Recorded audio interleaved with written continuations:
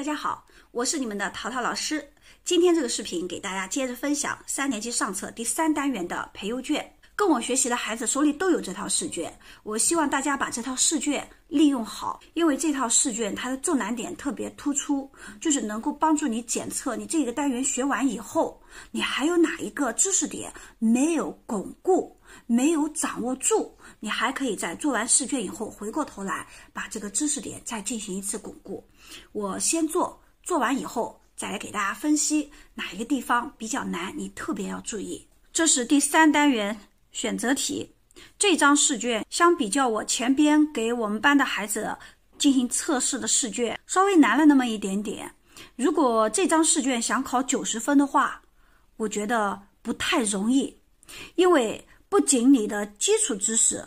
掌握的要好，后边拓展题你也要能做好。这不仅仅是要求你平时上课认真听，你上课认真听，把老师给你的笔记都记住了，你还得利用好课下时间去复习巩固。我们知道现在双减作业几乎是没有，然后要求孩子会背的，孩子不一定能背的这么熟练。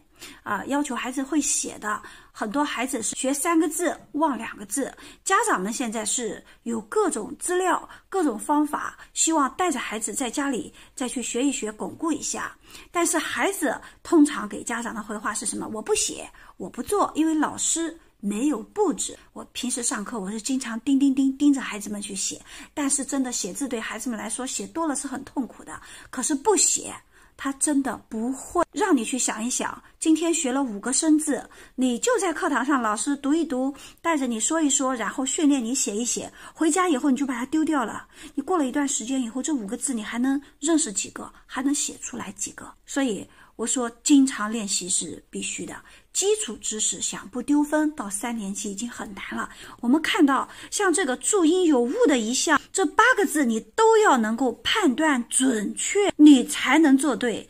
他问你有误的一项，就是注音有错误的，就说明什么？这其他六个是对的，或者七个都是对的。吞咽、精液、后鼻音，你看这是一个难点。跺脚、努力。这个努它也是一个难点，其实有的时候它会头上给你两点，啊，诱人，你看又错了啊，变成了秀。祖宗这里是轻声，许多孩子他也不会判断。召开，很多人说召开会议，其实是召开，不是召开，所以这个地方我们选 B，B 它这个诱人写成了秀人，所以你看仅仅两分这一道题就这么难，孩子想考高分。这样的题目你怎么去训练？大家可以看到啊，三年级的生字在上课的时候，它不作为重点，但是我依然会干什么？尽可能的把难点的字给你提炼出来。你看，我们学生字的时候啊，这十三个生字当中，大家有没有发现？一二三，我给你标出了三个圈。长期跟着我学习的小孩，他都知道为什么这三个读音要画这个圆圈。他们是考点，也就是像这样的字，它是经常出现在这样的题目当中的，它出现的概率比较高。你把这些容易错的找出来了，平时去加强了，是不是比你十几个字天天去读要能够节省时间呢？到了高年级，你学习要去抓重点了，不能全面铺开，你也没有这个时间，没有这个精力了。好，这是上课时候你就这样注意，课下这样巩固。第二，加点字注音完全正确的又来了，看到吗？明晃晃是肯定不对的，明晃晃。再看正，这个是多音字，也容易出现错误。包括这个鸡，像这样的真的是你日常要训练。好，第三，下面书写有误的一项是什么？你看啊。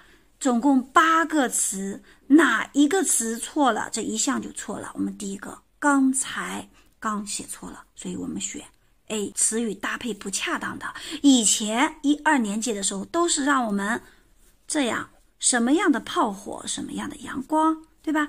填前边的形容词。但是到了后边，他给了你八个词，让你选择哪个不恰当。孩子们通过前边两年的积累。到现在去做这样的练习，他才能够做好。好，接着再看第五，下加点词语使用有错误的一项，哪一个词语使用的是有错误的？同学们，我们看这是不是都是我们课文当中出现的句子呀？C，一头大黄牛从红头后面却渐渐走过来，对不对？不对，它跟课文当中不一样了。好，第六，说法有误的这题有点难，为什么？说法有误，他给了我们一二三三篇课文，加上原地当中的交流平台，他问你哪一项是不对的，那你要对课文全部都理解，你才能够做对。说法有误的是一块奶酪。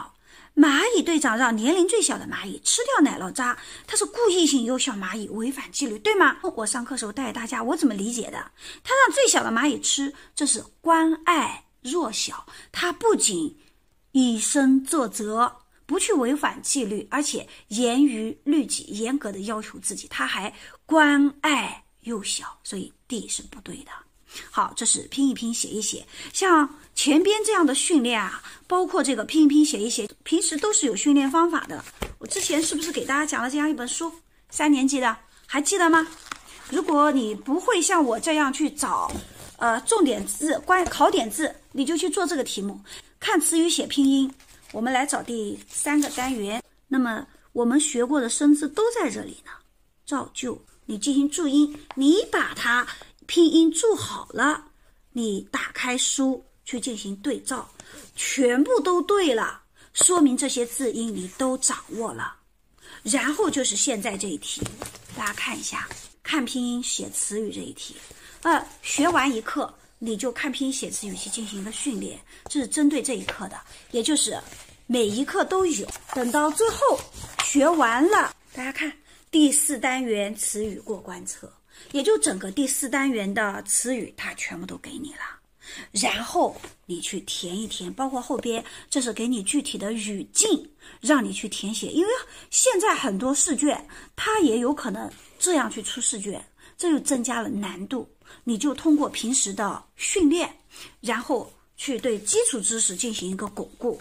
那么巩固完了基础知识，这里加偏旁变成新字。在组词，好，这里呢，我还是要提醒大家，加偏旁不等同于加部件，这是两个概念。呃，照样子写词语，这是我们原地当中的啊，与口有关系的。我这样出试卷呢，还是比较简单的，因为我的难点不在这里。如果再给你进行一个细分，让你我还能写出几个带有口字旁的字，表示语气的，这我在上课时候给大家拓展了，对吧？再看第五。给加点字选择正确的解释。一二年级我们在训练什么？会写，会辨别它，会区分它。给你词语同音的、行进的，你会区分。到了三年级，要求你理解了一个字给你几个意思，你去在不同的语言环境当中对它进行理解，看到吗？是这样这种题目。然后第六，按要求完成句子，像句子练习就是。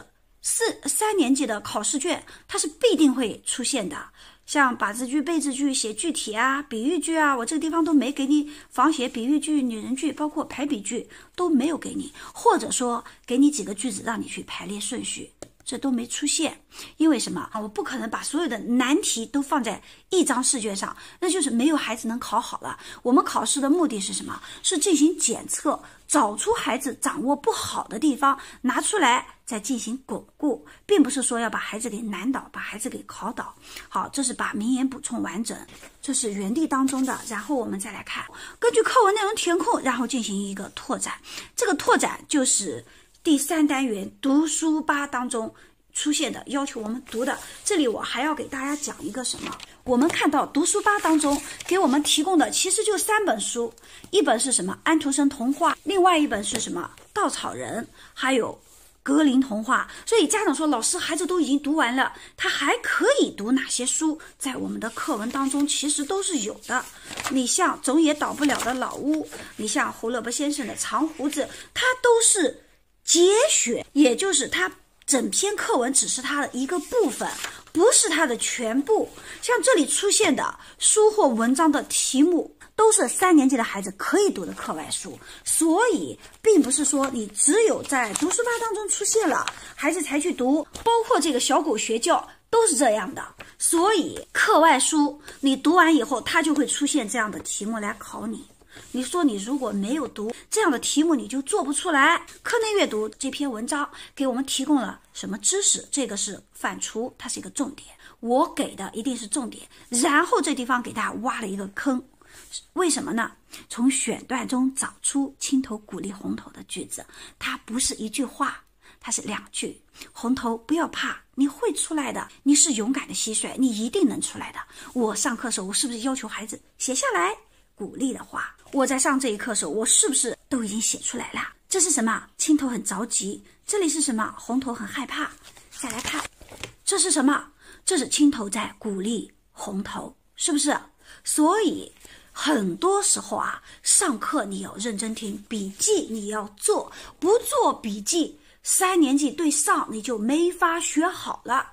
因为很多课文当中出现的点，老师不可能上课反复去打磨，点多了很可能一节课讲一遍两遍就带过去了。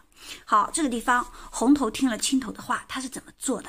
咬着牙不让自己失去。知觉，这是课内阅读，然后这里是课外，课外是金海螺小屋，三年级的阅读题，它比一二年级难度提升了，不是一个台阶，而是几个台阶。一二年级都在寻找明显信息，都在对短文的道理呀，呃，去进行寻找。很少让你自己去总结，然后对短文当中出现的一些重点句子，有一些修辞可能会点到，但是到了三年级，它以理解为主。我们读完这个《金海螺小屋》以后，就看一下找近义词，像这样的我带着做，我都是要求大家进行积累的，对吧？他坐在森林里哭泣的原因。看到吗？虽然是选择题，但是你要理解这篇短文，才能找到他为什么哭。他迷路了，找不到爸爸妈妈。那么第三，加标点，加标点，你记住了啊？一般情况下，加标点它都会出现在有提示语的句子当中。我今天还跟我们班的孩子讲到这个提示语，提示语在前边冒号前引号，提示语在中间逗号。前引号提示语在最后直接就是句号，没有前引号了，所以这个地方是一定要注意区别的啊。好，三年级考试的重点，第四有了有了谁的帮助？小鼹鼠帮小海豹找到了他的爸爸妈妈，这里少了一个横线啊。有了海螺的帮助，也就是金海螺，小鼹鼠帮小海豹找到了他的爸爸妈妈。那么，小鼹鼠为什么要搬到这个海螺小屋里去居住呢？是因为经常能听见小海豹的声音和它说话。你看，只有你对课文理解了，你才能做对这样的题目。读了文章，你是喜欢小海豹还是喜欢小鼹鼠呢？说说你的理由。不管你喜欢谁，你都要把理由说清楚。而且，你喜欢谁，这是一个问题。说说理由，这是两个问题。我发现三年级的孩子，就是我班里的孩子，在做第三单元测试卷的时候，也出现这种问题。他去回答第二个，第一个还没说，他就直接说，因为小鼹鼠怎么样，因为小海豹怎么样，他直接去做好。这是第三单元的测试卷，除了我给你挖了坑，也最难的也就是课外阅读了。想考九十分都很不容易。因为前边的基础需要你平时去训练，为了节省时间，你可以直接用这个书去进行一个训练，什么生字啊、词语啊，包括要求你填句子。凡是跟着我学习的孩子，就是跟着我上课的孩子，不要去买这本书，因为我课程里边有，我给你做了这样的专项训练题。但是很多孩子他没有跟我学习，他就是听一听视频，那我就建议你。买一本这样的书去练一练基础。这张试卷就给大家分享到这里，我是争取尽可能的提前把试卷都分享给大家。好，喜欢我的分享可以点关注我，别忘记长按点赞。我们下个视频再见。